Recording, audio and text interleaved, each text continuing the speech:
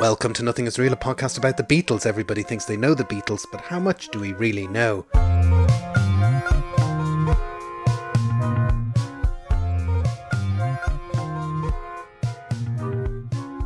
My name is Jason Carty. My name's Stephen Cockcroft. And we're live on tape from Dublin and Belfast. This is the second part of our look at the last year in the life of Brian Epstein. And we managed to get towards the end of 1966. Uh, we started off at Candlestick Park, but his life was still very much uh, packed towards the end of, of 1966 and there's a, a couple of things going on. He's been in and out of the, the, the priory. He's been travelling with the beatles. He's been in the us with uh, georgie fame. Um, there's two maybe notable things that are going on as well. At the end of October, a close friend of his dies, Alma Cogan, and yes. there's a bit of it kind of adds to the general air of sadness and you know around Brian. Yes. So for those people that don't know, Alma Cogan uh, was a singer who had had a very high profile career in the UK in the late 50s, um, sort of really into 1960, 1961.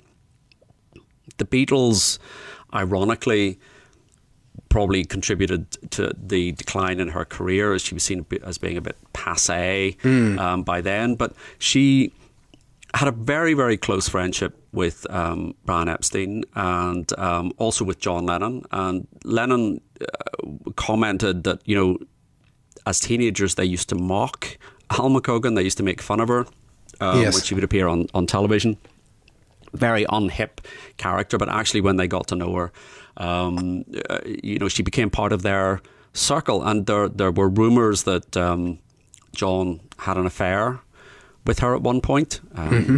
So just and she was she was known as the girl with the giggle in her voice. Isn't that the right? Girl with the giggle in her voice. She had a, she had a sort of very affecting uh, vocal style. My father, big fan of Alma Cogan. Um, which indicates indicates perhaps just how unhip uh, she she she was. Sorry, Dad. But, but, even even though does he listen? He doesn't listen. No. Even though um, even though Alma Cogan's kind of painted as this figure from the previous generation of showbiz, she's still only in her early thirties, and she, she she's in her early thirties. She gets a diagnosis of cancer, and she she she dies on tour in, in, in Scandinavia.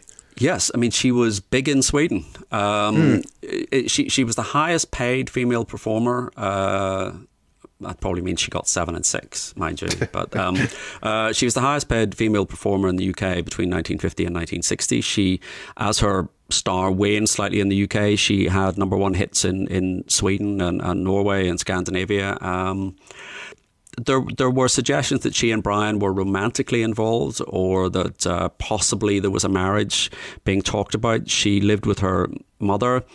She mm. was Jewish. She was a, a, a you know perfect fit, uh, except for the fact that Brian was gay. Um, but it was seen as a marriage of convenience. It was a, kind would have been a marriage floated. of convenience, absolutely, absolutely. And I think this affected him uh, uh, uh very, very deeply. Yeah, so that, that's very sad. That's on the 26th of October as we spill into November, the main thing that Brian is known for, which is being the man behind the Beatles, it spills over into the real world that there's news stories and appearances that relate to the fact of well, where is this band? What is going on? And you know it's quite normal nowadays for a band to take two or three months off or even longer. Um, but at the time it seemed you know, the news would have been out that there's no Beatles album for Christmas, there's no Beatles single for Christmas. They haven't gone back into the studio yet. John is off recording uh, or making this film. Um, you know, there are fans demonstrating outside Brian's house wanting another Beatles tour. Uh, yes. And Brian kind of confirms that the, the, the, actual Beatles are not under any record contract by November 1966, as it happens. Yes, it's a very strange situation. Um, you, you, know, we're back to this kind of Schrodinger's Beatles. You know, they, they the contract is expired with EMI. They are negotiating around yeah. this, and you know, Brian, you know, obviously they're in a much stronger position than they were uh, as unknowns. Um, Beatles fans in the UK are upset uh, because there has been no final UK tour. Mm. So to say um, so to yeah, to kind of say goodbye. So America, uh, the rest of the world, the Philippines, etc., etc. They've they've had their 1966 tour. This doesn't happen. I mean, I think their last UK appearance is in May uh, at a sort of NME poll winners con- winners concert, which. Um, for reasons of Brian failing to agree terms, is not actually filmed. The cameras Yeah, are the whole, the whole concert is filmed except for Yeah, the except Beatles, for the- which is except for the- very frustrating. there are there are demonstrations outside his house. Um, he goes on to the David Frost program. Uh, on the 11th of November 1966, but he's made it very clear ahead of time he's not going to take questions about the Beatles touring, nor about the Beatles splitting up, because this is the point at which, uh, from here all the way through to June 67, when Sergeant Pepper is revealed, uh, it, it the, the, the questions are, oh, the band's splitting up. What are they doing? You know, and they're all doing their own thing. And did David Frost ask him? A lot of questions about Tommy Quickly, probably. Probably, I mean, probably, you know, that was uh, in the Beatles' burning house.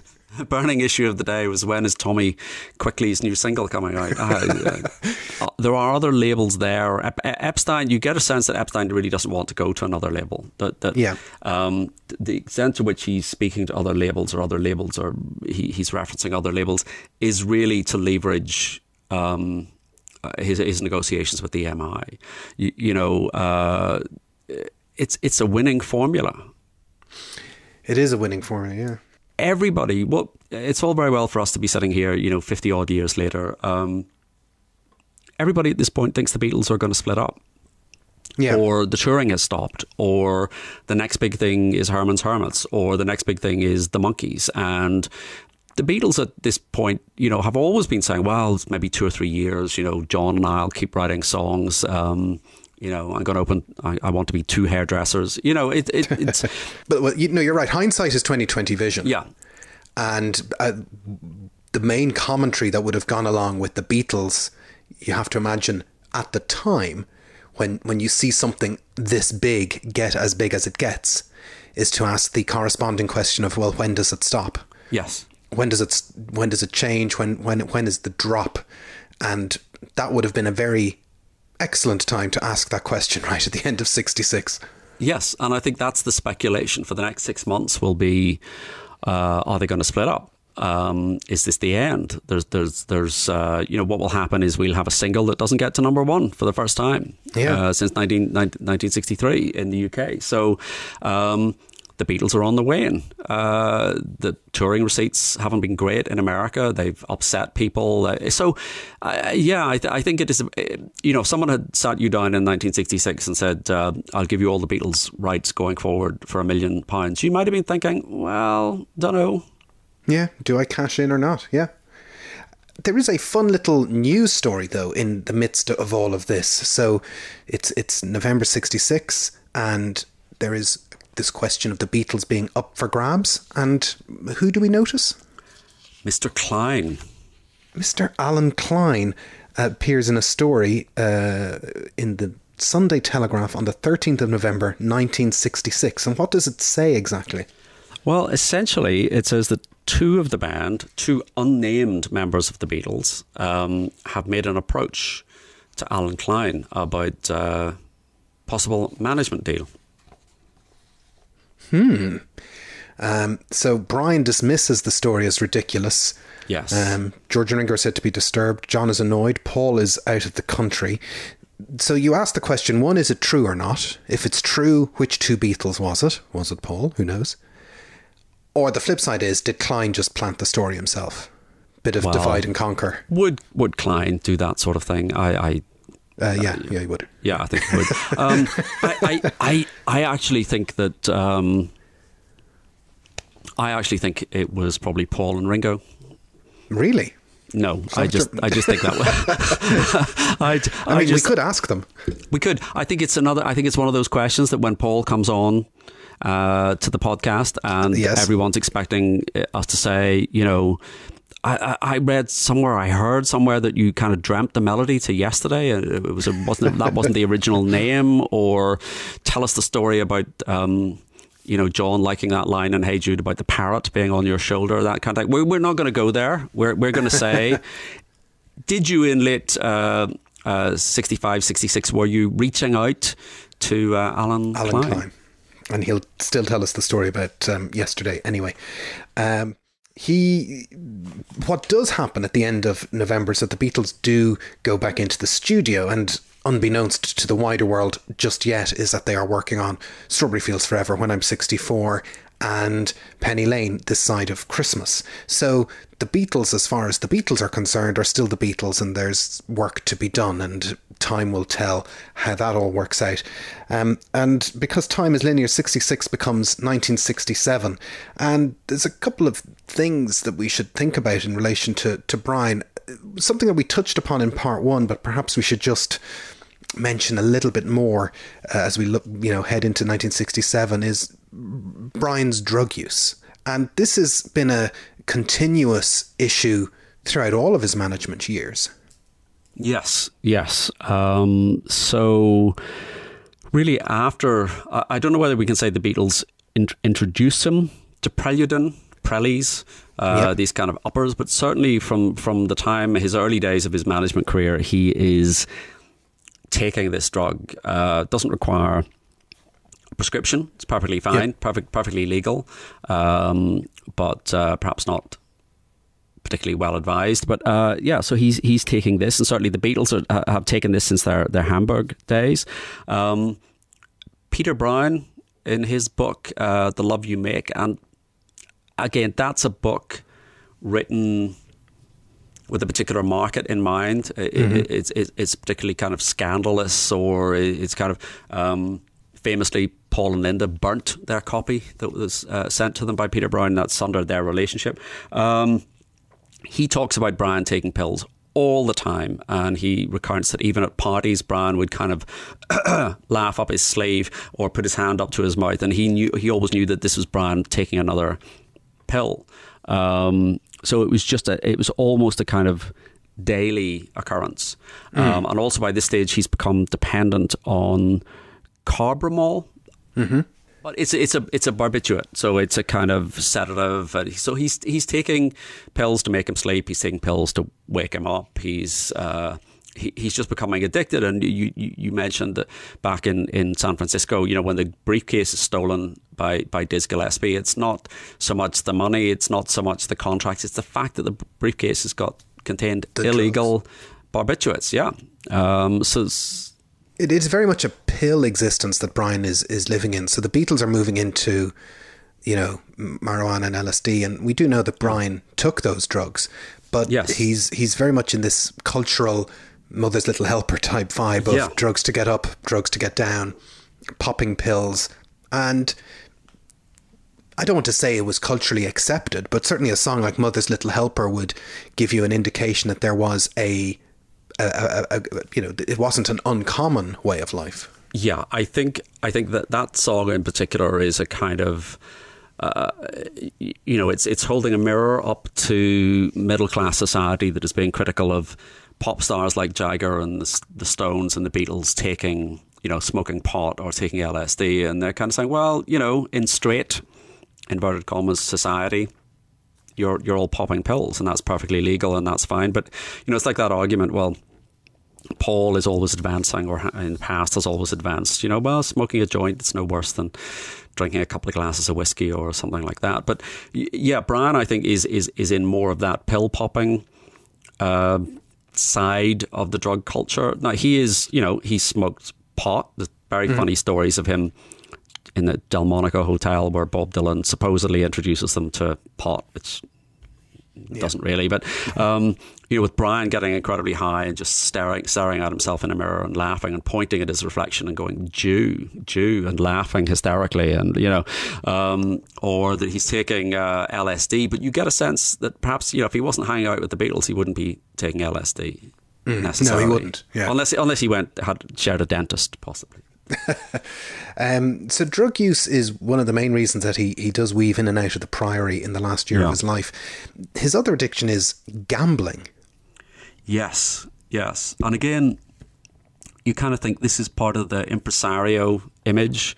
You know, it's a bit like that that scene in Hard Day's Night where you kind of, you know, it's all people in tuxedos yeah. and bow ties and uh, Well, it's seen as posh. This kind of yeah, posh a, gambling. yeah, it's a kind of yeah. This is not bingo on Blackpool Pier or slot machines this or is not like one of those commercials that you see on No. daytime television for Foxy Bingo. No, our new sponsor. yeah, it's not like that. It's it's kind of uh, you, you know smoke filled. It's it's James Bond. It's uh, yeah, exclusive it's- clubs, money to Yeah. get in, money Yeah. to burn, kind of thing. Yeah. That it's a sign of success almost to be gambling like. Well, no, because we have we have evidence that um, the good, um, the sensible Mr. Paul McCartney would have occasionally been to the gambling clubs as well. I'm sure he had a very sensible approach to. I'm going to bet my twenty pounds, and then I'm I- going to go home. You, yeah, you can't. I really can't see Paul. It seems so unlikely. But you think it is part of Paul's upwardly mobile, improving? Oh, yes, yes, it's one of those things where he'd he'd imagine himself as this kind of person who stands by a, a roulette wheel and um, casts some chips in the air. Well, let, song let's let's face it. We've all imagined ourselves as James Bond at some time. Um, and uh, Yeah. Doing the paperwork, the paperwork side of the job is the bit I imagine. But anyway, it's uh, yeah. I mean, I, I, I, you know, I've I've been to Las Vegas twice, um, and you do. You walk in and you kind of think this is an impossibly glamorous thing, and then you realize I don't know how to play. Yeah, I don't know how I to know shoot. what's going on. I on. don't know what's going on here. I don't know how to play poker or shoot craps or you know none of this. Uh, give me give me a dollar coin and a slot machine. That that'll do. Um, but yeah, Paul Paul recounts uh, you know, the, the Epstein's favorite club, and again, it's a kind of clubby uh, vibe to this. Is uh, House, and uh, it's Paul says he often ran into Epstein, which kind of again creates the impression that Paul is always in there. But you think it's more a case of any time that Paul was there, Epstein was there. So yes. Epstein is always there, and um, he says he once saw Brian put a cigarette lighter uh, up as a bet. And he said this was a Dunhill cigarette lighter worth hundred pounds, which is uh, in, in today's money. Should you have need for a Dunhill cigarette lighter, it would cost you over two thousand pounds, and just lose it on a turn of a card. Strange existence. Again, another one of these kind of private existences of that, that Brian had. But possibly the oddest thing he does is at the start of 1967, um, he, he seeks to get you know a license to show films at the Savile Theatre, which is a venture with Robert Stigwood. But Yeah, uh, on the 13th of January, he makes this deal with Robert Stigwood, which is the strangest, maddest thing ever. It is. So this is effectively. It's difficult to know how to describe this, um, you, you know, because Stigwood talks about it in comes at it from one uh, side of things and talks about it in a particular set of terms. Epstein in another, um, but essentially it's a merger on paper of of the Robert Stigwood organization and NEMS, and we we've talked before. Uh, you know, Robert not repeat it. We talked about Robert Stigwood and um, you know, he's already been through a bankruptcy situation, but he's kind of involved with the Who, and he has a roster of of artists, and uh, you know, I suppose they're rivals, maybe RSO uh, and NEMS. Maybe on paper it makes sense to bring all of this together. It, it's building an empire. Um, the the one thing they do have in common is that I think each organization is absolutely identified with its chief executive, you know, with its its owner. Yes. So NEMS is Brian Epstein, is NEMS. Robert Stigwood organization is Robert Stigwood, and and they're very strong characters. They're very larger than life characters, and they are completely different and completely incompatible. Essentially Brian is Brian's got the biggest group in the world and he's decided that yeah he's just going to merge with somebody who is not managing the biggest group in the world. And Robert Stigwood is somebody who the Beatles we've mentioned this before they've they've they've had experience of him. They're not fans of his. He's about to embark on a phenomenally successful decade and we cover this in our Sergeant Pepper the movie episode because he uh, you know he he works with um, Eric Clapton and Cream and the Bee Gees and uh, you know he's he's he's really in terms of success he's going to deliver. That's Yeah, yeah. that's not beyond doubt. But what we've also said before is that he didn't really have the maybe the, the, the love or the taste that Brian brought into the management procedures. He was a bit of a, a blunt object, Robert Stigwood. I think that's exactly it. You know, Brian is coming at this. He he has an artistic sensibility. Um, he has a very personal relationship uh, with with the Beatles. Um, Stigwood is very ambitious. He's a businessman. It's pound shillings and pence. You know, it's it's, it's he's yeah. very very focused, and you know, arguably that's what you need if you want to run a successful business. And perhaps it is the case that Brian is is recognizing his own limitations. That once you get to a certain point, you get to a certain size um, of of business. Um, you need somebody to come in and run the business while Brian yes. can take care of the kind of personal management side of things. And it was always the case, according to Brian, the Beatles would remain his, Cilla Black would remain his. Um, Gerry Marsden, he, he was embarking on a solo career, and Brian had a relationship with him. And basically, Stigwood would take care of everything else. Would take care of the the the business side of the business, um, the day to day stuff that Brian really didn't have time for. But you've highlighted before, Brian fundamentally is a man that cannot delegate. Mm. And uh, there, yeah, there's certainly a logic in bringing in somebody with a skill set like Robert Stigwood who can run things. But you'd kind of think if, if you're holding the cards of the Beatles, you'd be saying, you're going to work for me and here's how it's going to do. Instead of giving him a deal where essentially Stigwood had the option to buy out Brian and own the Beatles after a couple of months. Yes, this is the weirdest aspect of the transaction, and it does kind of give you an idea of just how differently Stigwood saw things from Epstein. So it's this classic thing where you put people in a room, they, they, they, they shake hands on something, they each leave thinking they've got something which is completely different, and, and, and you know whether whether they're talking at cross purposes. But anyway, we have a, a, a statement from Stigwood. Now, bear in mind, Stigwood has an agenda and Stigwood is, sure, is sure. writing after the fact. So he, he says, we'd be joint managing directors together.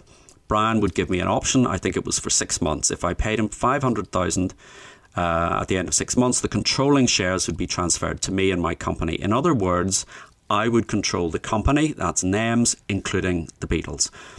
Brian received a letter saying that I was taking up the option. We had a wonderful dinner, laughed and joked about the future, and talked. He was thrilled. So Stigwood has been given the option to buy basically the remainder of Brian's shares, and we touched on the, the breakdown of the shareholding um, uh, earlier uh, in the previous episode. But the key thing here is that Brian apparently did not discuss this arrangement with anybody. No. Nobody so, in NEMS and nobody in NEMS knew. It's, he seems to have gone com- uh, completely on a a solo run, and um, you know, presumably he had his uh, uh, famous uh, sidekick lawyer David Jacobs um, to do all the deals for him. But uh, eh, yeah, he seems not to have confided in the top people around him within the NEMS organisation.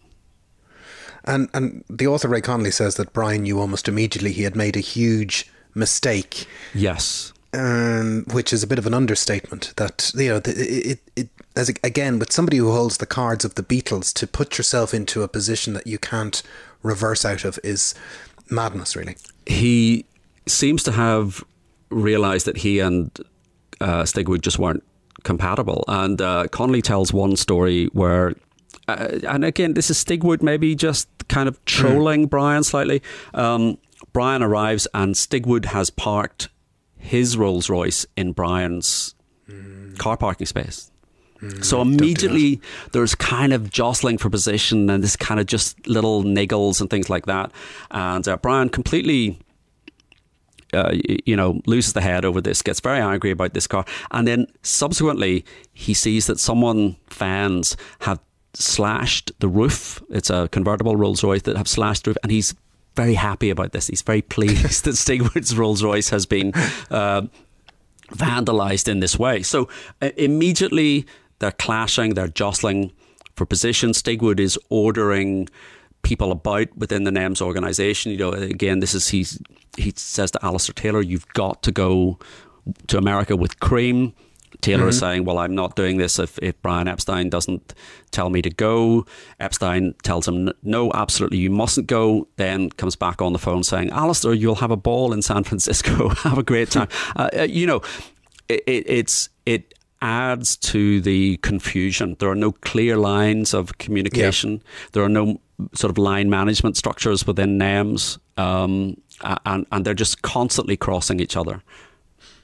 As if January the 13th wasn't a busy enough day signing that deal with Robert Stigwood, uh, Brian ends the day by seeing uh, Jimi Hendrix at the Bag of Nails Club. That's pretty cool. Yes, that was just um, to ease, ease, ease your way out of out of the day.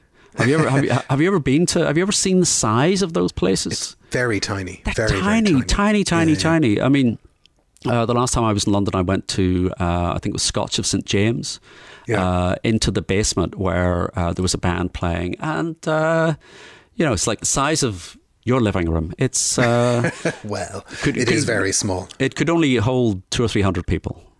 Uh, two days later, Brian is in the slightly larger Royal Albert Hall to see Donovan. Ray. Well, you can see that that would be what you would rather relax in the company of uh, Donovan than uh, in. I have to say, I would rather relax in the Albert Hall with Donovan than uh, the bag of nails with bag Hendrix. Of nails with, yeah, possibly. But the big thing that happens at the end of January is the Beatles finally sign a nine-year contract with EMI. This is sort of Brian's one of Brian's last big gifts yes. and jobs yes. for the band. Yes. Um, so this is a very interesting contract, and again, uh, just uh, we mentioned Allen Klein being in London and being in the background. Um, you know, Klein has been brought in specifically by Andrew Loog Oldham to negotiate uh, with the record company, and uh, he does a great deal, gets a lot of publicity. So there there is pressure, but basically. Um, there was a six month period where they were operating on a sort of ad hoc arrangement. January 67, they signed this new deal. They get 10% of the retail price of their records, which is the highest royalty rate at the hmm. time. Mm. And then this is the interesting point. Um, it's for a nine year period, which takes us up to 1975 76. Yes, that's a long period. It is a long period of time, but they have to provide over a nine year period 70 songs. Which is not a lot of songs. It is by Beatles standards. A lot of songs by Beatles standards. Remember, we're going to get the White Album that has 30 songs on it. Yeah. So, um, you know, a couple of double albums and uh, five singles. That would be that would be it. Yeah, but but but, but, but yeah, back of the envelope calculations. What thirteen tracks on Pepper, eleven tracks on the Magical Mystery Tour. That's your twenty-four plus thirty from the White Album. That's your fifty-four. Um, even without Get Back, Let It Be, you throw on Abbey Road, and we're done. Yeah.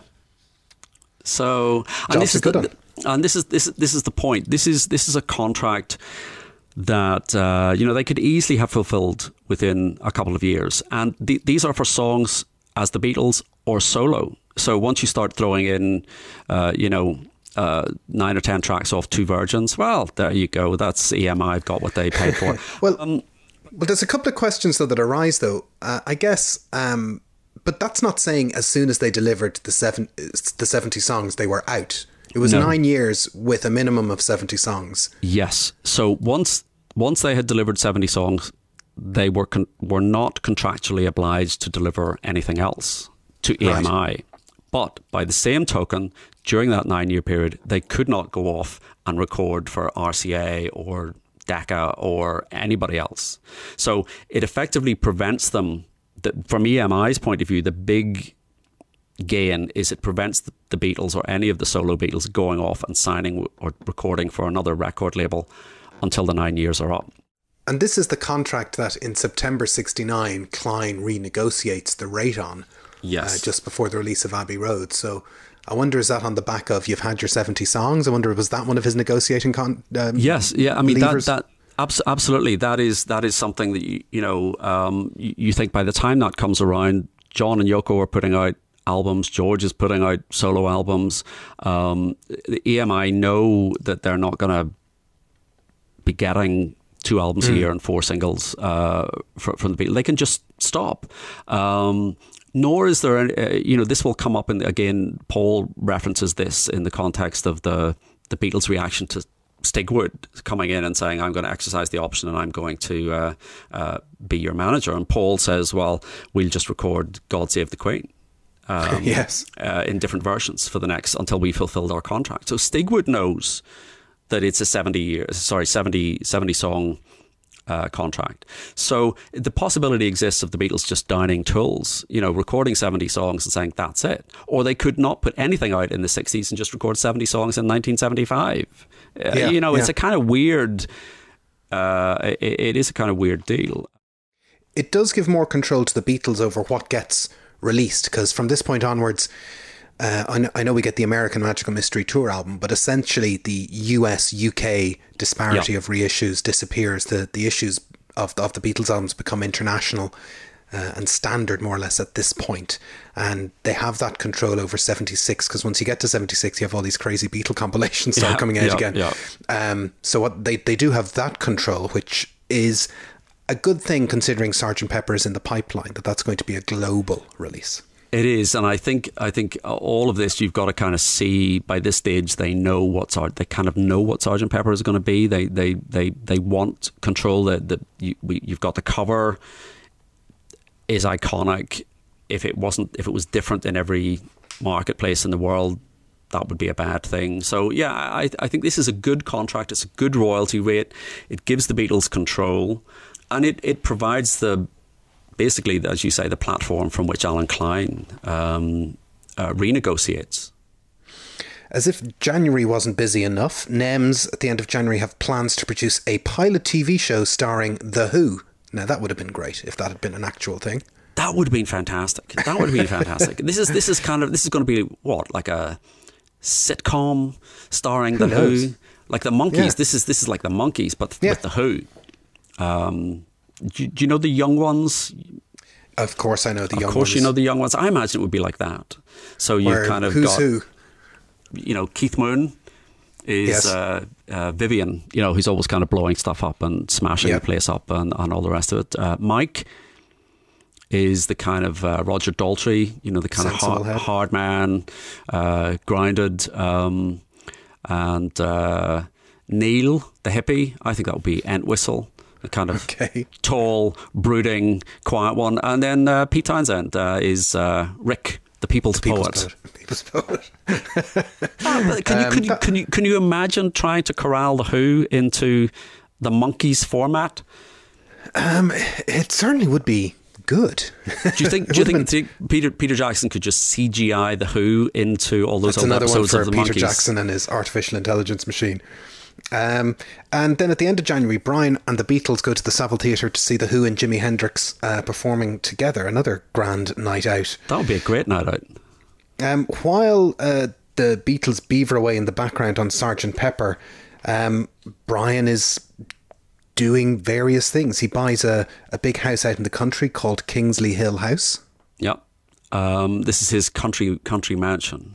Yes. But again, you, you get a sense this is, you know, you've got a lovely townhouse because you're in London doing all the cultural things in London, but you also have to have a weekend retreat. Yeah. Um, in March, uh, Robert Stigwood signs the Bee Gees, who are to be his Beatles for the next uh, number of years. Yeah. Um, uh, Brian goes off to Mexico on a holiday in March.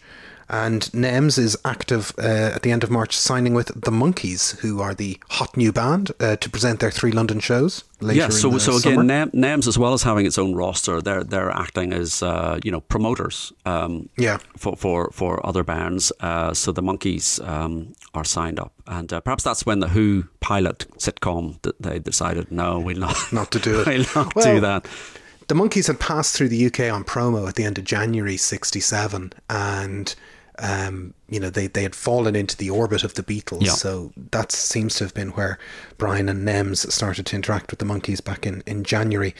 And uh, the Saville Theatre is still a going concern. And who's there at the end of April doing a big long residency? You'd have been there every night. It's Donovan. Donovan, the one and only. He's he's uh, tick him off again on the list. um, but the big uh, thing uh, that has also happened in the interim uh, back in February, March is the release of Strawberry Fields Penny Lane. So the Beatles are starting to resurface. You know, the Strawberry Fields Penny Lane is the first release under that new contract. People have a rough idea that the Beatles have not gone away, um, but we are still waiting for the release of Sergeant Pepper, which is the big cornerstone event of 1967, and we will talk about it after this break. End of part one. Intermission. End of intermission. Part 2. Welcome back. So, the big ticket event that is due to happen is Sgt. Pepper's Lonely Hearts Club Band, which originally is due to be released on June the 1st, 1967. And as we recounted just before the break, that Brian has reorganised his NEMS enterprise. He has got the Beatles re signed to EMI. Um, he is in and out of the Priory and he is buzzing around doing lots of different things in London. But the Beatles will always remain his main charge. And so as we head into May 1967, all guns are pointed towards Sergeant Pepper, really, isn't it? Yes, yes. So uh, again, this is an album which takes longer than any other uh, to record. Um, there are issues around the cover, uh, and this. So Brian is involved in a business sense, but the, the, the music. This is very clear. This is the Beatles. This is George Martin. Brian is not part of that uh, sort of hands-on day to day. There's no tour coming up. There's no single coming off this album. These are not decisions that have to be made. Um, Brian is coping with Stigwood. Mm-hmm. He is. Um, it's around this time in May that he formally enters into an arrangement with Nemperor. Uh, so they sign basically the two companies, the American and the British company, sign a contract where they will represent each other's interests in their relevant jurisdictions. And again, this is sort of a favour to Nat Weiss, um, the lawyer, and you get a sense that this is maybe because Stigwood is potentially about to take over that that Brian is locking this in yeah. as a favour for Nat Weiss before um, before that happens. The, and, the other thing, as you say, is when he's not on holiday, he's in the Priory, mm. and he's actually in the Priory again in May '67. Yes, and yes. Um, he's so they're they're they're they're coming up to the release of Pepper. There's going to be a launch party. Brian, this is this is where Brian comes into his own. You know, it's the courting of the press, it's the the theatricality of launching the product, and this is this is the, this is what he loves. He knows this album is going to be, uh, you know, a blockbuster. He knows this is something different. Um, it's such a leap forward, and he wants he's presenting it again. It's that role of impresario. Uh, and it's something we take for granted a little bit that the album is launched because every album gets launched these days, yeah. you know. Yeah. Um, but the Beatles were not going on tour, as Paul would say. Oh, we'll put the album on tour, and Sergeant Pepper can be yeah. the band, etc., etc. Anyway, but if anyone is familiar with the Sergeant Pepper album, and we discussed this in our Sergeant Pepper album episode, there is this launch party in Brian's house in Belgravia, which is not a, a common occurrence. And the notion is that all the press can come to Brian's house. The Beatles are in Brian's house. Um, I'm imagining if you're listening to this podcast, you're familiar with some of the photos of that day, some of them famously yeah. taken by Linda McCartney, because it's one of the. Um, Paul has just met Linda the previous within the previous week, and he's talking to her at the party as a as a photographer.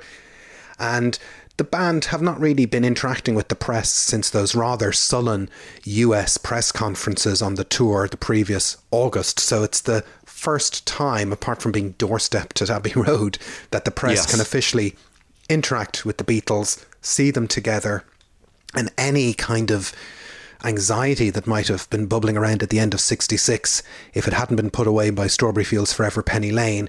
Here is a unified front with Brian very much front and centre organising this debutante's ball, so to speak, for the album in his house with the band. And it's a big deal. It is a big deal, and I mean, you know, if we kind of unpack a few things there, it's in Brian's house. Yeah.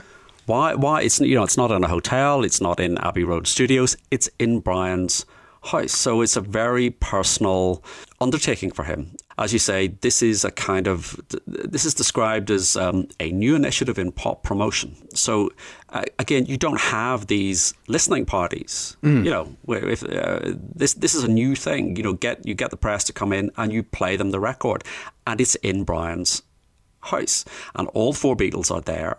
Um, they've not been in a room together with the press uh, since uh, late '66. Ray Coleman says Lennon looked different. He looked haggard. He looked old. He looked ill. Clearly under the influence of drugs. What what they mean is he's thin. Yes. Physically don't look the same. They are thinner. They have moustaches. They they look older. The next day, the entire album except for a day in the life. Mm-hmm. How disappointing would that be? is played by uh, Kenny Everett on uh, not on Radio One on the BBC Light program. Oh, so you're still we still didn't have Radio still, One. We still didn't have Radio One. Yeah. Unofficially, the, the day before, the entire album, including A Day in the Life, had been uh, aired on pirate radio. And again, there's something slightly subversive about that as well. You kind of give the pirate stations an advance copy. Yeah. Uh, Kenny Everett gets to play it the day after, which is going to coincide with the. Um, news stories and the reports of the uh, launch party uh, the day before. So it's a it's a very coordinated uh, PR campaign. Yet, of a sort uh, which is completely innovative. Uh, now it's commonplace. There's, there's there's kind of two odd things. One is that Brian leaves the Priory to actually get back to his house for the party, so he's not even yes, getting yes. ready for it. He's he's he's he's slightly absent in the in the preamble, and he's he doesn't go back to the Priory until um, May the twenty first because he's he's out at Ringo's house the following day on the on the twentieth. So th- this is you check out. You know, I'm I'm in for a rest. I'm in for a drug cure. Sorry, I have to kind of go and host a, a, an album launch party for Sergeant Pepper on, on, on the 19th. On the 20th, so I have to go and have tea at Ringo's house with George and John. and then and after having tea, he goes back to the Priory. But then the next day, he comes out of the Priory because he has to go and have tea with his mum and dad. and the, you know, it, it is it is like weird. It's a hotel. And the other thing that's bookending that week in the in the news or in the background is that the Beatles are signing up for the Our World TV special at the end of June, the which yes. becomes the All You Need Is Love type event. And so the contracts for that are signed just before the launch party in Brian's house. And it's very much a Brian plan that the Beatles do this TV program. It is. It is. I mean, Brian can see the value of this, the the kind of publicity aspect of this. And again, it's it's him back in control. It's him setting things up for the boys. It's him looking after them, managing the career, managing the publicity, making sure they're in front of the public, making sure their career is moving forward. So it's very much Brian's idea. And the, there is a sense that when they found out what was happening and what they'd been signed up to, they weren't particularly happy. Yeah. You know, if you signed if you signed me up to do a live podcast in front of uh, 500 million people, I, I would not be particularly keen that you hadn't discussed that in advance. You know. Well, to be coming off the back of a very big album to say, listen, just one more thing. In three or four weeks' yeah. time, global television audience of about 200 million. Could you write a new hit single? That'd be great. That's essentially what they're being asked to do yeah, some pressure there. some, some pressure. pressure. And that news is officially leaked, or not, it's let out to the news on May the 22nd. So, you know, you have the album coming out. You also have news stories coming out that beyond this, the Beatles have a, a new, you know, a new project at the end of June that they've signed up for. And as it happens, Sergeant Pepper gets rush released a week early because the the the buzz is so good. We start to get confusion in the timelines and the kind of official histories. When did Sergeant Pepper come out? Come out on the 1st of June. It actually comes out on the 22nd of May. Brian has checked out of the Priory yeah. uh, the day before. Then, post that release on the 26th of May, on the 28th, Brian hosts a big party at the new house at uh, Kingsley Hill. Um, so this is this is a kind of post-release party for everyone that's been involved, and uh, everyone turns up except uh, let me see, except Paul. yeah, he's probably busy. Well, he had just met Linda. he was having a bath um, with Linda. with Linda. No, no. Possibly. I mean, he famous, famously the very first meeting that he was supposed to have, well, the meeting they were supposed to have to sign the contract, Paul didn't turn up because he was having, having a, bath. bath. And uh, George said, "Yeah, well, he may be late, but he'll be very clean." if that was in the Rutles, you wouldn't believe it. You know, you wouldn't. you wouldn't didn't turn up because he was having a bath. Yeah. Um, in, into June, Procol Harum uh, have their debut concert at the Saville Theatre, and Whiter Shade yeah. of Pale is at number one. And in, in a decent management structure scenario, that should have been a huge success. The band you're managing in the theatre you're managing at number one. You do wonder why NEMS or Brian or somebody, because Robert Stigwood does go into the record label business, but why, you know, why they, there wasn't a record label alongside all of that. This this is Procol Harum's debut concert. I mean, it's not just that this is their first concert after they've had a number one. This is the first time they've ever played live as a band called Procol Harum. Yeah. And they're, they're at number one. So the single gets to number one before they played live. It's extraordinary. And uh, that same week, NEMS announced the Yellow Submarine film, the cartoon film that we'd know and love from 1968. So stuff is still happening, and Brian and NEMS are still doing work. He is involved in the preamble to the Our World TV show on the 25th of June. Yep. He's uh, visiting the Beatles in Abbey Road. He's prepping for the presentation itself.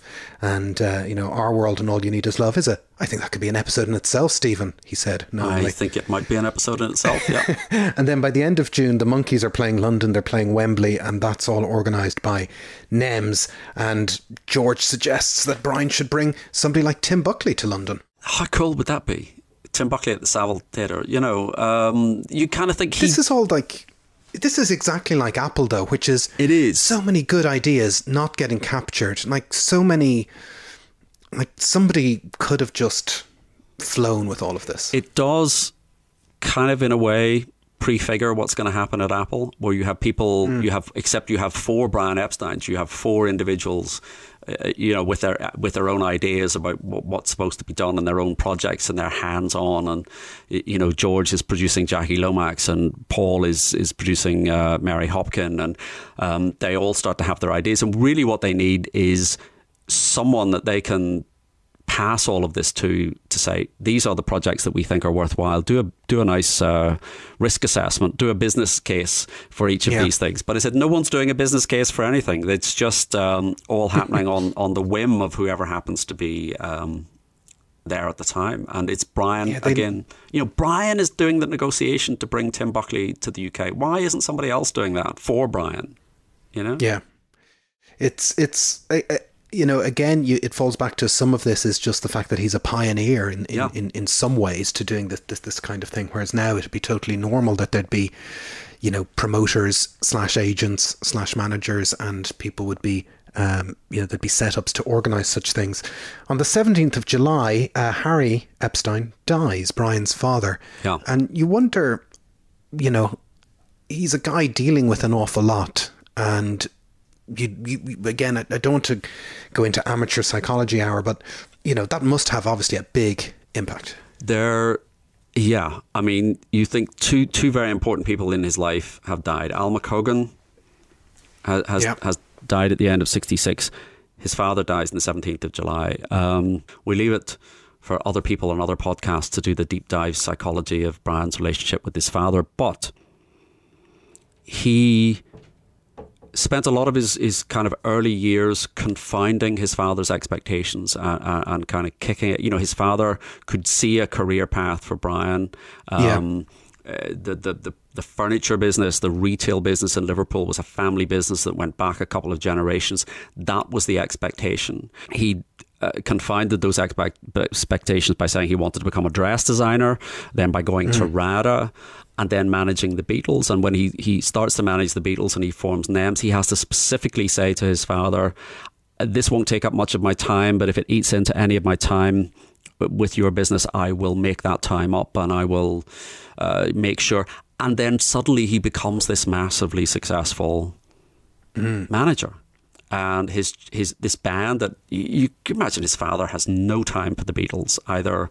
Kind of the music I mean it's just not of his world not of his generation not of his social uh, um, position. But suddenly he has proven himself to, to, to his his father. Yeah and it's and, and, and the organization itself, NEMS, is named after the North End Music Store, his dad's store. So you know, the family is undoubtedly uh, important. So that must have had a, a big impact um, when that happened in mid July. At the end of July, there's a very famous legalized marijuana ad that appears in the newspapers. Uh, it appears on the Times on the 24th of July, 1967. And it's a, one of these kind of open letter advertisements with a bunch of signatories trying to provoke or to get people to think about the legalization of cannabis and the release of prisoners in prison because of possession, and to look into um, somewhat far, farsightedly um, medical marijuana uses. And Brian is one of the signatories, along with um, the Beatles themselves and uh, two members of parliament and 16 doctors and another 40 odd people have signed this thing.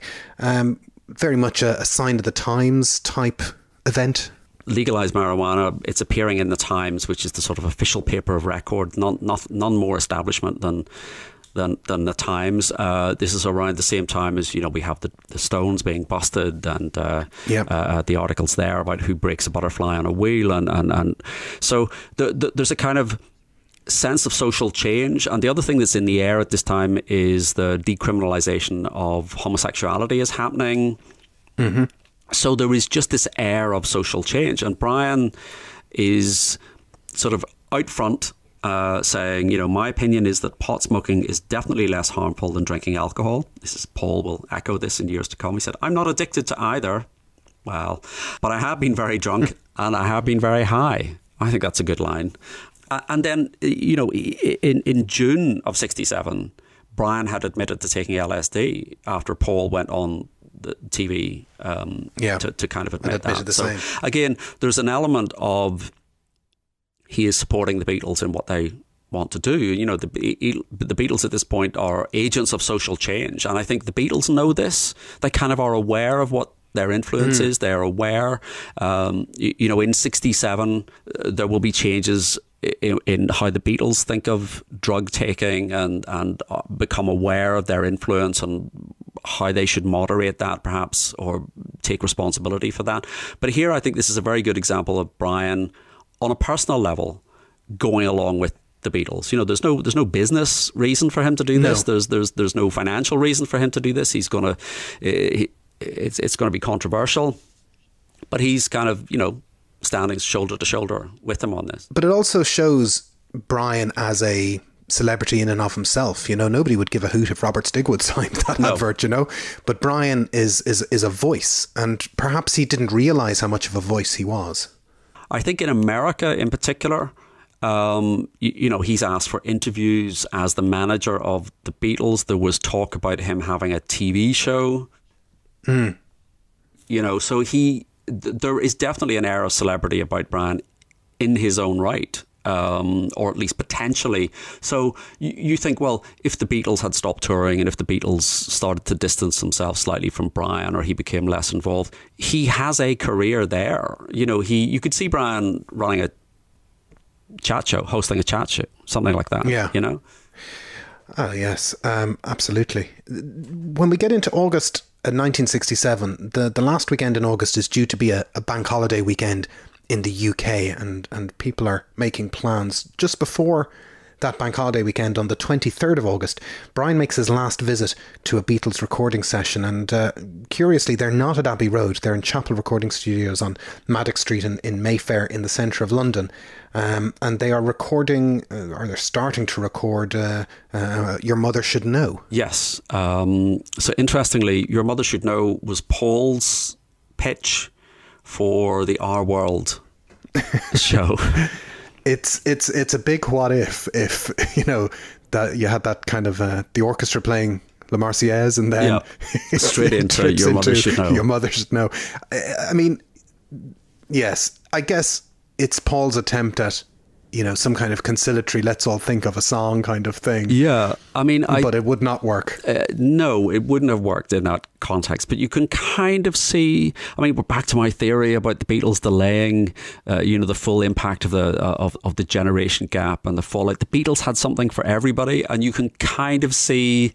Maybe Paul's thinking is, let's all get up and dance to a song that was a hit before your mother was born. You, you know, it's a kind of No, it's trying to be inclusive of the whole world. Let's all use our memory and our inclusivity Exactly. and what makes us human um, to sing a song that your mother would know. Exactly. So you can, from that point of view, I can kind of see, but you know, they start recording this on the 22nd of August. It's still not finished. It's not, you know, there's the thing about that song is it doesn't go anywhere. There isn't a kind of, it's a kind of repetitive lyric. You think this is something that they, it, it's a song that I think in August in the finished version probably could have done with a little bit more work in terms of the lyrics. But yet this is something that was being pitched uh, you know, two months before. So he had plenty of time. He's just slacking, you know.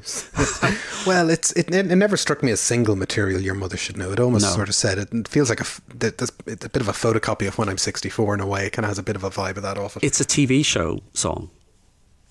It's a perfect TV show like song. a theme tune? No, what I mean, I mean, you could kind of see that this is a song that uh, you know Cilla Black could do on a variety show, or oh, yeah. It, yeah, it's, yeah. It, it, it's not it's not a single. It's not a Beatles single. It's it, yeah, it's one of those Paul catalog songs. Yeah, and it kind of fits perfectly into where it fits, which is is Magical Mystery Tour, and they're all dressed in white tails and stuff. Coming It's down the perfect. staircase. Yeah, it's perfect for that.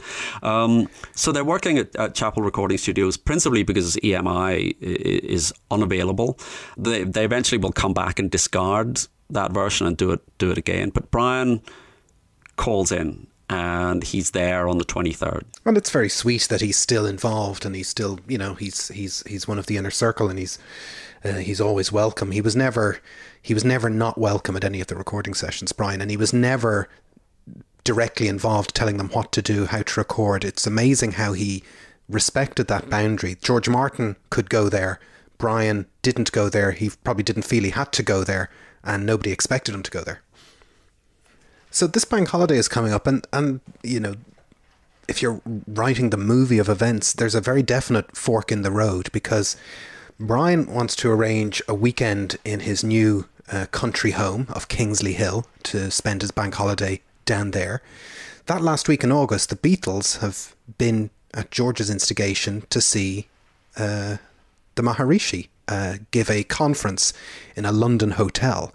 And they are so smitten with what he has to say and so excited about the possibilities of transcendental meditation and the like that they make a spur of the moment, certainly by pop star standards, to spend that weekend uh, going to Bangor in North Wales uh, for a long weekend retreat to learn a little bit more about this Maharishi chap. Um, have you ever been to Bangor? I have never been to Bangor. I've been to Bangor uh, because my train broke down once, and lovely part of the world, but it's it's quite remote. I've I've been on the train from Bangor to to London, and um, it's right on the north coast of Wales. You know, it's probably the first big stop after Holyhead when you come in on the ferry. It can be rainy, can be cold. um, it's certainly not glamorous, uh, or um, uh, you know, it's it's it's it's you wouldn't expect an awful lot of pop stars to go there. So for the Beatles to decide to go to Bangor, they must have really been interested in what the Maharishi had to say. And do you know where they were staying? The name of the place they were staying? I do not. Bangor Normal College. Okay. Anyway, anyway, we, we'll, we'll we'll come back to this on another on another episode. But yeah, it's always struck me as extremely strange that you you know they just decide they cancel their recording session planned for the weekend, and they just think we'll head down to Bangor, and they take their wives, they take Mick Jagger, they take Marianne Faithfull um, on virtually no notice at all. Um, Ringo and Maureen Yeah, are and- there. You, you know, Ringo was Yeah. Ringo wasn't even at the lecture. It's just presumably he got a phone call to say, "Hey, this is great. Come on, instant enlightenment um, is is is yours at the at the price of a ticket to Bangor." Um, so they aren't around that weekend. Uh, the, the intention is that Brian will come down. So they've spoken to Brian about the Maharishi. They've spoken he to him about, about about TM, and he's going to come down on the Monday um, after his, his kind of house party at the weekend and uh, kind of get initiated or find out what's what's kind of going on. Um, but in the meantime, Brian asks Peter Brown, Geoffrey Ellis from NEMS to come down for the bank holiday weekend. So this is going to be like a, a kind of house party. Um, he asks his PA, Joanne Newfield, to come along and to bring Lulu. Amazing. I'm going to ask the next time you come up to stay. I'm going to ask you to bring Lulu. I'm just giving you advance. advance. That's generally my default for anything. Yeah. Hey, if we're if we're going to that, just bring Lulu. Bring Lulu. I mean, that's great. Have you ever seen Lulu in concert? I have not. I I saw her once as a guest. Um, I went to see Ronnie Wood uh, just but not Oh, yeah. long before lockdown, and uh, you know Imelda May was the w- was the kind of the guest vocalist, and then halfway through he suddenly went, "Ladies and gentlemen, Lulu," and she came on, but she didn't sing shite. Oh, I've got a lot of time for Lulu. Yeah, I, I, yeah, it'd be great. I'd love to see Lulu. As it happens, Joanne Newfield and Lulu have prior engagements. They're not able to go. So, so Brian heads off on Friday, the 25th of August, uh, down to the house in Sussex. He's joined by Peter Brown and Geoffrey Ellis, and Brian's a bit disappointed because he was expecting a. He was expecting friend. someone else. I'm going to read this as a direct quote uh, from the um, Jack Ray Coleman book. Uh, a young man with whom Epstein hoped to become better acquainted did not show up. Fair enough. Um, and and this kind of disappoints him um, because he's like, well, I don't really want to spend a weekend with Peter Brown and Geoffrey Ellis, who I see all the time anyway. I'm yeah. sure they were touched. I'm sure. I, mean, um, I thought that was very nice. You know, you can, oh, not, not only has this young man with whom I hope to become better acquainted not shown up, that Lulu isn't even here. It's just Peter and Jeff. Peter and Jeff, God.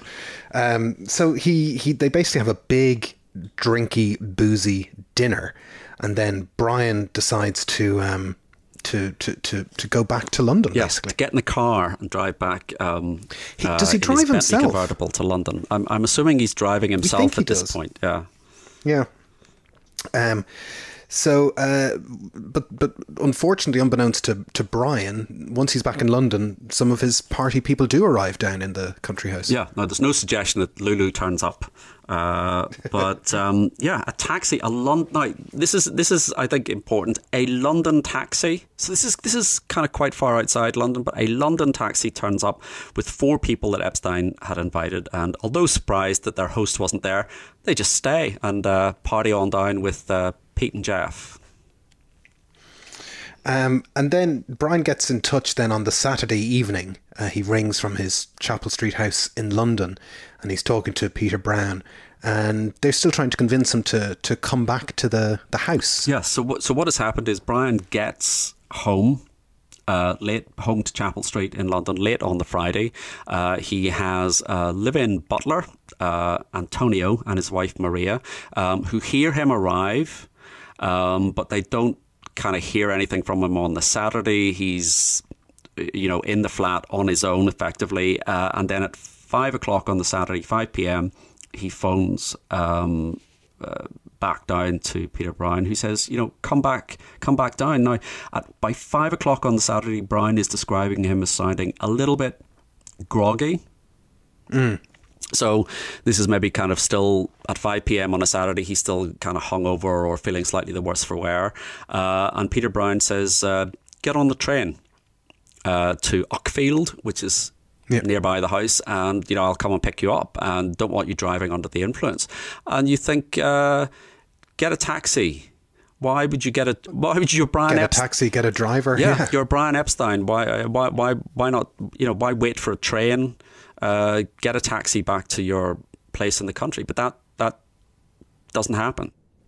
And so the last that Peter Brown hears from Brian is that he says, you know, he's going to eat something, he's going to going to go through some mail and paperwork, watch Jukebox Jury, and then he'll get in touch or decide about what train to, you know, is an option for him to, to get down. I can't imagine there's a lot of trains on a bank holiday Saturday um, going going to the countryside. Yeah, this is an aspect of of the story that seems odd to me that mm. um, Peter Brown would be saying, get the train. As you say, it's a bank holiday. There's going to be a reduced train service. Uh, Peter Brown, he's going to have to let him know what train he's actually on. Uh, so that Peter Brown can come and pick him up from the station, whereas he could just have picked up anyone uh, of a hire car or a you know uh, chauffeur. He could get a taxi, you know, to, mm. to um, that that this aspect about I'm going to get a train. I'll let you know what train I'm going to be on. That seems odd.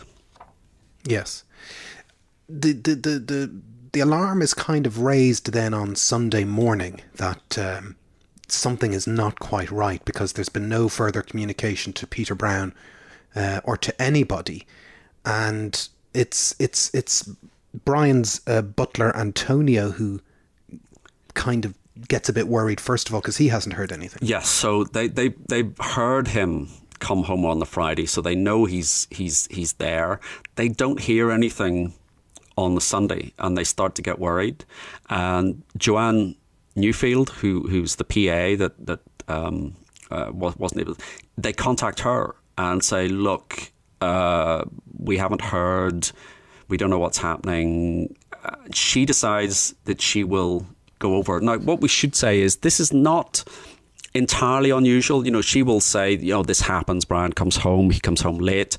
Um, you yeah. know, sometimes he doesn't get up to three or four in the afternoon. Has breakfast at four o'clock in the afternoon, and then begins work. He had increasingly uh, uh, over 67, he was working from home. He wasn't going into the office, and he was working in this slightly odd way where he'd be in bed dictating letters and things like that. So it's not that uncommon, but she decides, okay, I'm I'm going to go over. She arrives. There's an intercom. He doesn't answer the intercom, and uh, they they knock on the door. No response. So this is the point at which she decides she needs somebody else to come. She mm-hmm. calls Peter Brown and said, uh, you, you need to get you need to get here. And Peter Brown says, call John Galway, who's the doctor. Yeah. So John Galway arrives and he goes up to to to, to the room and it's Antonio and John Galway who end up breaking in the uh, the, the door into the room and um, while this is happening um, Joanne Newfield is on the phone to Peter Brown. Yes, so this is sort of happening live. She she's also contacted Alistair Taylor, who's on his way to the house.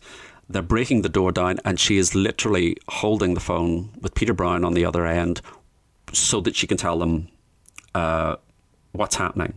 Um, she said the room was dark, the curtains were drawn. Uh, she could see that Brian was in bed, and the doctor turns around and simply says, uh, "Just wait, wait outside." Um, she's standing there on the phone. A few minutes go by, and the doctor comes out, and she says, "I've never seen a doctor so white. We were all white. We knew what had happened. We knew that Brian had died." Mm. And so this is communicated to to Peter Brown. Yes. Um, and, and, and Galway talks directly to Peter Brown, uh, the doctor, to say that Brian has died. And then Peter Brown calls this figure David Jacobs yes. again, and um, the the showbiz lawyer to, to to get him involved. And at that point, then Peter Brown and Jeff Ellis um, head directly to London, and Alistair Taylor also arrives at Brian's place because they still haven't called the police. No, they haven't called the police. Uh, Alistair Taylor says that you know literally uh, within a few minutes of them at this point having searched the room, having searched the house, they're trying to look for drugs or barbiturates. They're, they're, they're trying to make sure there are no illegal substances in the house. Then they ring the police. And they said, literally within minutes of telling the police, there's a knock on the door and it's a reporter.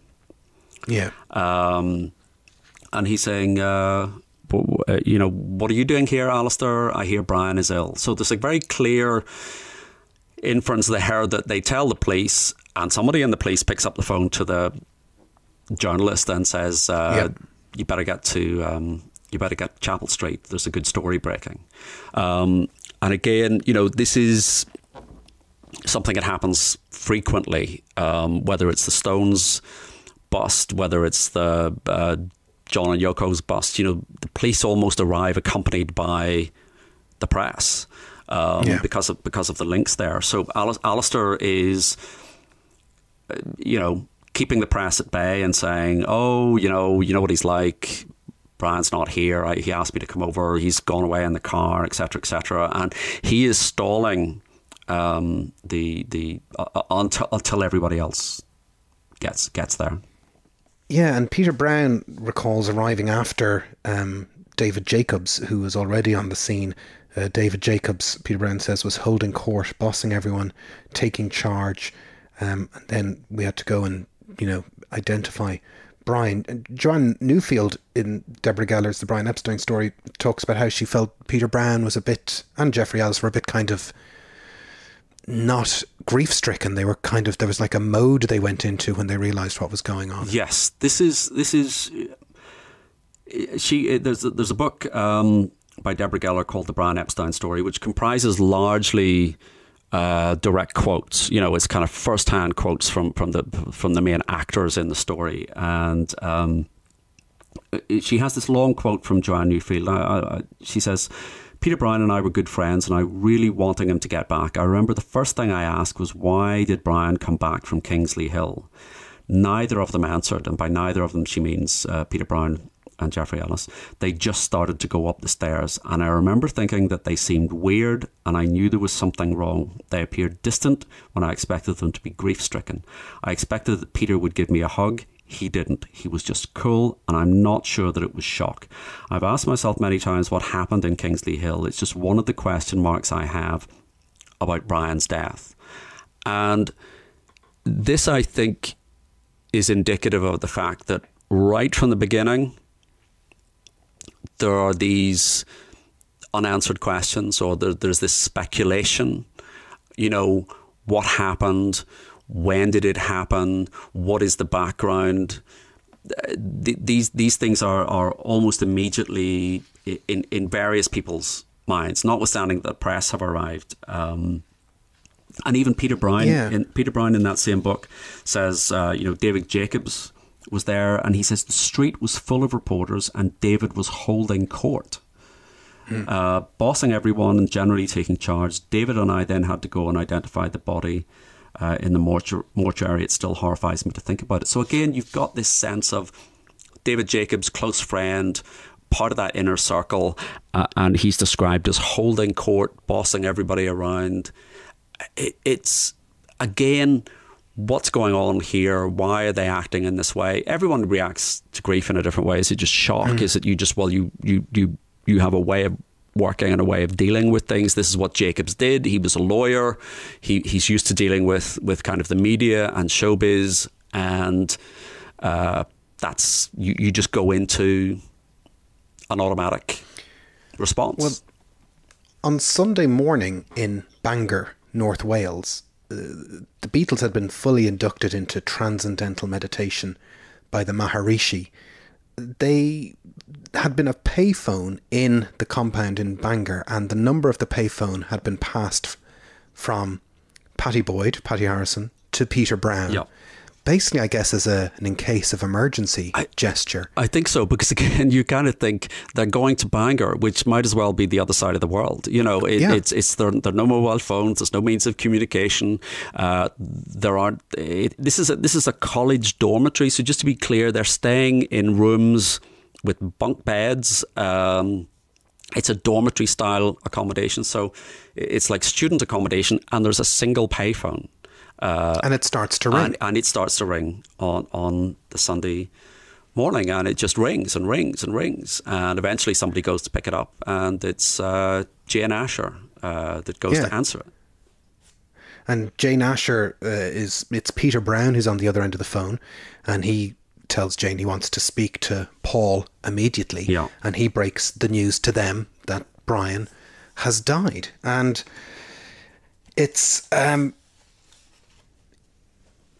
it was obviously shocking to them, and we have the evidence that it was shocking to them because the, the footage is used in the Beatles anthology. Yes, they they they, they have a, a kind of a Paul seems to make a, a, a, retreat back to London almost immediately before any reporters get uh, get get all the way down to to Bangor, um, but it's kind of John who decides he's going to be the face of uh, the reporters, even though John, George, and Ringo all go out and talk to the reporters, and you can see it in their faces in anthology. They are in, in they are shocked. They are in shock. Uh, they are in shock. And Cynthia Lennon said um, the story had already reached the British press. Reporters began to gather at the college, wanting to speak to the Beatles. The press wouldn't leave until someone came out and gave a statement. Um, they all gather in a room uh, to say who is going to do this. John said he'd do it. As you say, interestingly, Paul isn't there. Paul has already left. Paul is already on his way back to London when the other three uh, go out to answer these questions, and um, it, it's it's it's the sort of worst example of press intrusion. Um, mm. I, I think because you know John comes out and he says, "I don't know what to say." We've only just heard. It's hard to think of things to say, but he was just, he was a warm fellow, you know, and it's terrible. And the press go, What are your plans? And he said, Well, we haven't made any. I mean, we've only just heard. Um, and Ringo says, "Yeah, it's as much news to us as it is to everybody else." And the press go, "Why would you be without Mr. Epstein today?" And uh, you know, are you driving down to London tonight? And they're answering, "You know, we don't know. Yes, we're going down. Um, what are your plans for tomorrow?" And say, "Well, we we we don't know. Um, we have to play everything by ear." Mr. Epstein was coming here to be initiated. When was he coming? Uh, had you told him about the Maharishi? And it's it's it's it's a very unedifying um, example of how the press are doorstepping people. You know, it's a very harsh. Yeah, it's a very harsh example of that. You can tell that they are in grief. You can tell they are shocked. And George, you know, the press already know that Paul is gone. Um, you know, George does say that Brian was going to follow us up here on Monday, and um, it, it, what's very curious is how they are all of a very certain type. Like John is shocked. You know, we've only just heard. He doesn't know. Uh, John says, um, you know, he we don't know what to say. We loved him, and he was one of us, which is a very direct, loving, truthful statement uh, from John. But also George. George is also kind of connecting to type because he's he's saying, you know, there's no such thing as death anyway. It's death on a physical level, but life goes on everywhere. Um, and that is something we know that George carried through for the rest of his life yes, in terms of yes. his reaction to death. So it's it's they they have spoken uh, to the Maharishi about this. Obviously, they they they've mm. uh, kind of because that's you know that that question is put to them as well. But yes, George is very much already even before they've kind of gone to Bangor before they've done this. George is is is kind of of that mindset, and um, I, I think John's answers are very telling you know, in that grief and in that shock, you get a very truthful, honest human reaction. And, um, you, you know, to absolutely just say, you know, we loved him and he was one of us, that's a very honest, kind of visceral response. And it, it, it more than anything else, that probably gives you an insight into just how central he was and how the Beatles viewed, you know, that they knew he was that central uh, to, to, to their success. Um, yeah, it's it's. I mean, it, it, it, for Beatles fans, it's very familiar footage. It's harrowing footage, and you know, pointedly in the anthology, it has this overlay of John's voice from a few years later saying, "We knew we were in trouble. Yeah. You know, we knew this was, um, uh, this was a, a difficulty. The the the cause of death uh, is eventually ruled um, as an overdose of uh, carb- which uh, was ruled as an accidental overdose, uh, gradual build-up with uh, uh, alcohol in his system. And certainly Paul, again in the anthology, says, yeah, it seems he sort of buys into the notion that it was a an, an accident. There are other stories that circulate in, in, in relation to to his death. Um, Brian had written suicide notes before, but they they, they, they never really were ascribed to any particular event. Yeah, I mean, this is the, the, there's two two sources um, uh, for for this. So Peter Brown says uh, he he had encountered this situation where Brian had left suicide notes before. George Martin, you know, Peter Brown. I'm prepared to be a little bit cynical about Peter Brown's account because of the general tone of the book. But George Martin, in his book Summer of Love, very casually, uh, in the context of talking about Sergeant Pepper, he said Brian had attempted suicide before, but he'd always made sure the attempt failed and that the note asking for help was placed where it could not be missed by anyone.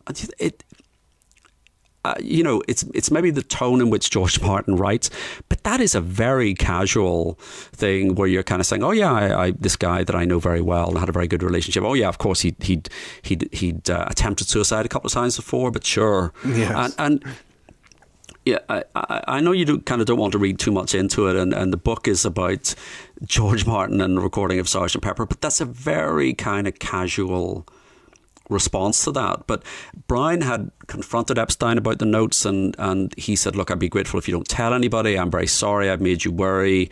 I'd just taken one pill too many. I had no intention of, of overdosing. And Brown seems to accept that. And certainly the official the official ruling is it was accidental that he had kind of become slightly foggy and had lost count, perhaps, or lost track of what pills he had taken. He'd taken some alcohol, and there was a kind of build up, and and um, it, it, was uh, a low fatal level of barbiturate in the bloodstream.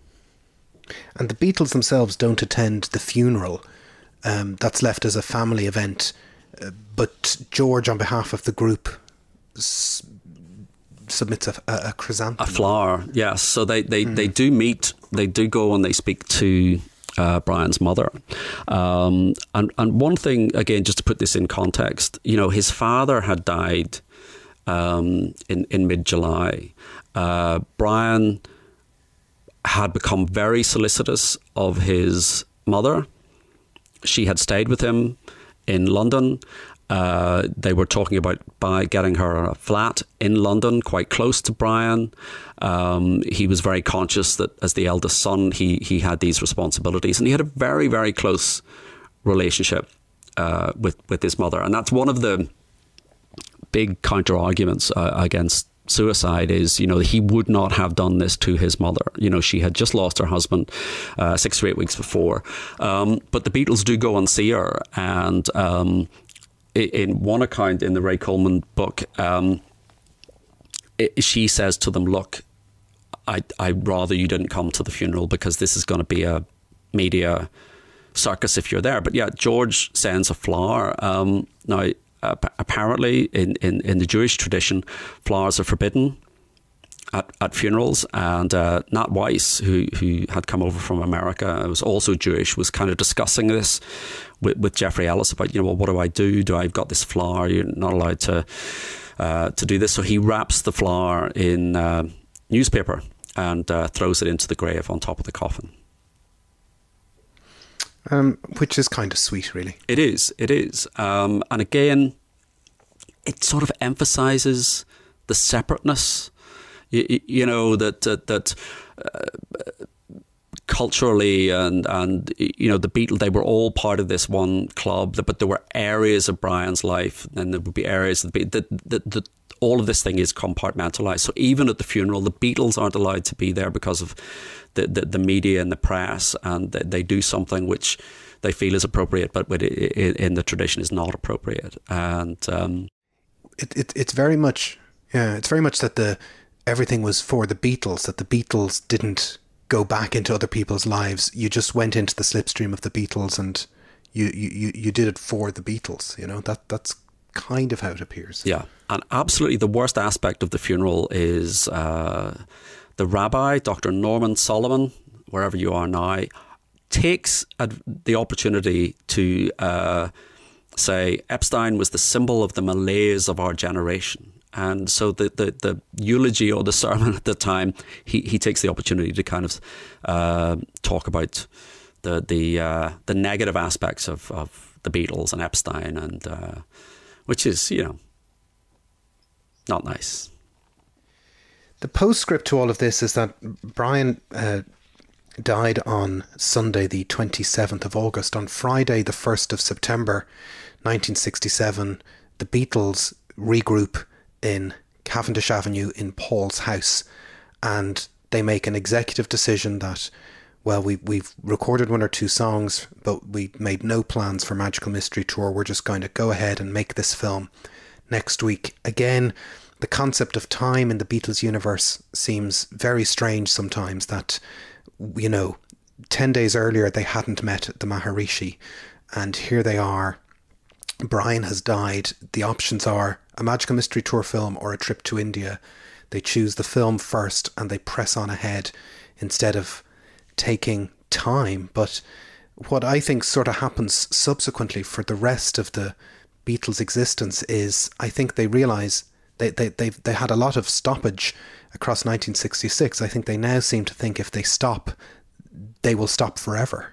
That they, they need to keep the kite in the air. Yes, yes. Um, and it is, I mean, looking back, uh, it, it, it is startling that, you know, within a week, they are saying, right, what do we do? This is, they don't take, there, there is no sense of, well, we need to take some time uh, we need to to just process what's happening. We need to process uh, the grief. You know, they haven't been at the funeral. Which is kind of part of the process of the, the grieving process. They they they there, will be a, a, memorial service in, in October. But before they get to that, they're already um, moving on to the next project. And, uh, you, and know, you look th- at the parallel of the 1st of September 66, they're post Candlestick Park, and they, they realize they have time to do different things. And then one year later, the 1st of September 67, they should have been of the same mind that they had time, but their, their response is totally different. Do you think that this is Paul's response?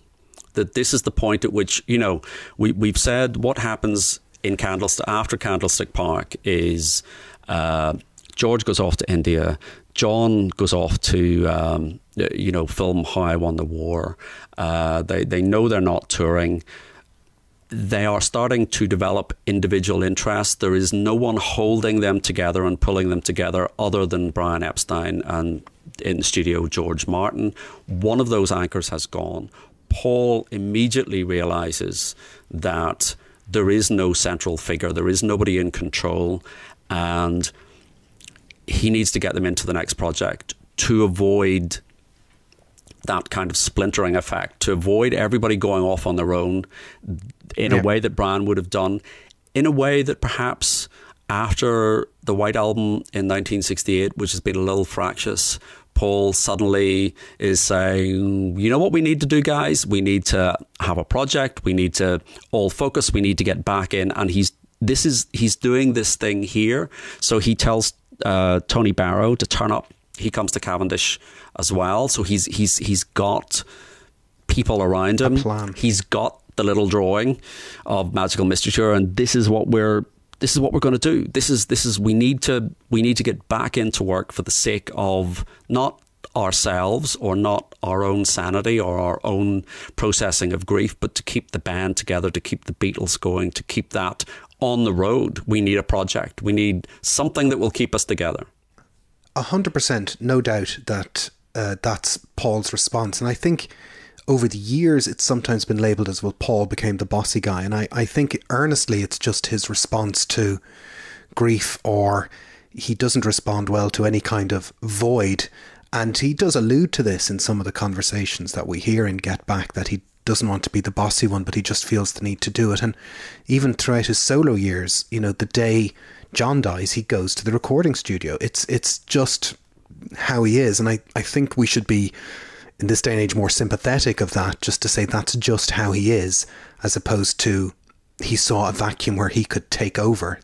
I don't believe that was the that was the the plan. I, I, I believe it was from a good place that he felt we will just keep busy. It's a very kind of post-war type of approach to life. Let's just roll up our sleeves and press on and we'll we will get to the far side of this river, everybody. I, I, I think no, I think that's true. I mean, I'm not for a minute suggesting that he sort of saw this as a, a, a vacuum where he could step in and take control, but I do think he doesn't see that other people process things in different ways, and um, you you can't have a kind of one size fits all solution to this type of situation, um, and I think it does mirror almost exactly what ha- what will happen in late 68 early 69 you know you can see you can see i mean we we, we talked about this about you know rubber soul recording rubber soul and there, there so there are there are things that that, that foreshadow what you know they repeat themselves. There are patterns and i think this is this is a pattern emerging. Um, and it worked you know, give him oh, give yeah. him credit. It absolutely worked. They kind of all threw themselves into into Magical Mystery Tour.